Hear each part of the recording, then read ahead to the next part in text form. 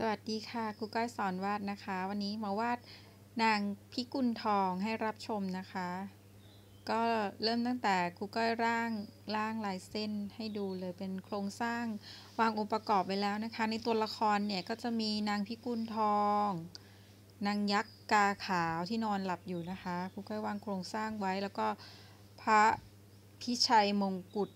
พระพิชัยมงกุฎเนี่ยเป็นพระเอกนะคะ แล้วก็มี พญาแรงที่อยู่ข้างบนเนาะ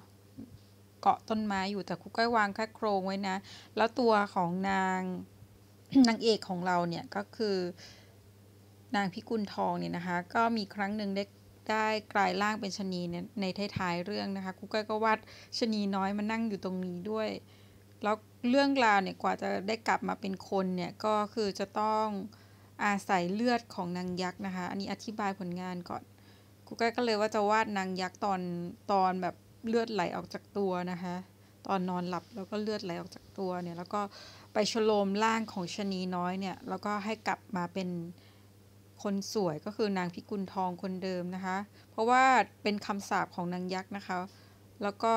ถ้าได้รับเลือดจากกายนางเนี่ยมาฉโลมร่างก็ถึงจะกลับเป็นคนได้ เนื้อหาของเรื่องราวก็มีอยู่ว่า นางพิกุลทองเนี่ยนะคะเป็นธิดาของกษัตริย์นะ เป็นเจ้าหญิงที่มีรูปงามและมีผมหอม เมื่อนางพูดจะมีดอกพิกุลทองร่วงจากปากทุกครั้ง วันหนึ่งนางส่งน้ำในแม่น้ำเรื่องราวเกิดขึ้นตอนนี้นะคะพญาแร้งเนี่ยจิกกินสุนัขเน่า แล้วก็เอามากินใกล้ๆนะคะนางได้กลิ่นเหม็นก็ด่าว่าพญาแรงด้วยความรังเกียจนะคะ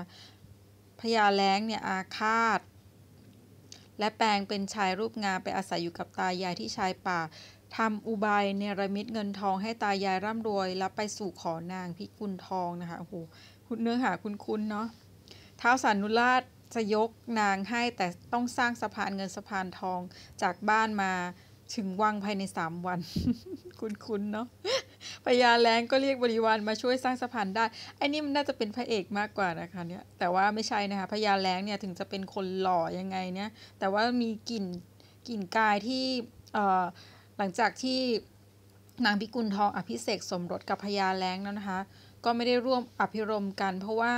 ทันทีที่แรงเข้ามาใกล้เนี่ยนางก็จะอ้วกเหม็นนะคะมีรู้สึกว่าเหม็นตลอด ก็เลยไม่ได้ร่วมอภิรมกันวันหนึ่งพญาแรงทำอุบาย ชวนนางเดินทางเรือ เพื่อจะไปบ้านเมืองของตน ในในบางเรื่องเนี่ยบอกว่าพญาแรงเนี่ยรักนาง แล้วก็จะเอาไปอยู่ด้วยนะคะ บางเรื่องก็ในอย่างในเรื่องเนี้ยที่ก้อยหามาเนี่ยก็จะเป็นจะกินจะเอาไปกิน วันหนึ่งก็ทำอุบายแล้วก็ระหว่างพักหยุดเรือเนี่ยพญาแรงก็ไปเรียกบริวารมากินคนบนเรือส่วน นางพิกุลทองนั้นตนจะกินเอง แม่ย่านางประจำเรือสงสารนะคะ ก็คือก็เลยซ่อนนางไว้ จนพ้นภัยเมื่อนางพิกุลทองออกมาส่งน้ำสางผมอยู่ที่บันไดเรือ เส้นผมหนึ่งก็หลุดติดมือมา นางก็เลยใส่ผ้าอบให้ไหลไปตามน้ำแล้วก็บอกว่าถ้าใครเป็นคู่ของนางนะคะ ขอให้ขอให้เจอพระอบนี้แล้วก็ตามมาช่วยพระอบก็ลอยไปกลิ่นดอกพิกุลที่อยู่ใน ในพระอบเนี่ยนะคะ แล้วก็มีเส้นผมอยู่เนี่ย พระพิชัยมงกุฎเก็บได้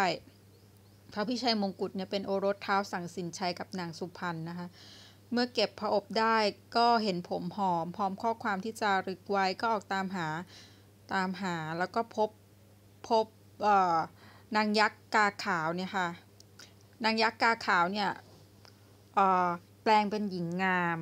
แปลงเป็นหญิงงามมาลวงว่านางเนี่ยเป็นเจ้าของผมหอม แล้วก็พระพิชัยมงกุฎเนี่ยก็จึงเชื่อว่าน่าจะเป็นนางนะคะ แล้วก็ได้นางเป็นชายาต่อมาพระพิชัยมงกุฎนะ ก็สงสัยว่าทำไมถึงไม่มีกลิ่นหอมแล้วล่ะ ก็แล้วก็ต่อมาทราบว่าเป็นยักษ์นะคะ ก็เลยใช้มนสะกดไว้แล้วเดินทางต่อไปจนพบนางพิกุลทอง เมื่อพญาแร้งบินมากินคนที่ชายหาดนะคะ พระพิชัยมงกุฎได้สังหารแล้วก็พานางพิกุลทองไปเป็นชายาอยู่ที่เมืองของตน อันนี้บางตำนานกล่าวว่าตายตั้งแต่ตอนนี้นะ แต่บางตำนานก็กล่าวว่ายังไม่ได้ตาย ก็ก็หลายปีต่อมายังไปช่วยอยู่เลยว่าตั้งแต่ตอนเป็นชนีนะคะ ก็ยังไปช่วยพญาแรงก็ยังไปช่วยอยู่เลย แต่ว่าในตำนานนี้กล่าวว่าตายตั้งแต่ตอนนี้แล้วนะคะพญาแรงหลายปีต่อมานางพิกุลทองกับ พระสังสินเอ่อไม่ใช่พระสังสินใช่พระพิชัยมงกุฎนะคะ มีโอรสสององค์ ชื่อรักและยม แล้วก็วันหนึ่งนางพิกุลทองกับสวามีและโอรสไปประพาสทุ่งนางยักษ์กาขาว ซึ่งลอบมาซ่อนในป่า ได้เนรมิตดอกบัวให้ใหญ่ขึ้นและแอบแฝงอยู่ตามเรือ เมื่อนางพิกุลทองเอื้อมเด็ดดอกบัวดอกใหญ่ๆเนี่ย ก็ถูกนางยักษ์ฉุดลงน้ำไปแล้วสาปให้เป็นชนีนะคะ ฝ่ายนางยักษ์แปลงก็แปลงเป็นนางพิกุลทองขึ้นไปบนเรือแทน พระพิชัยมงกุฎก็เอานาง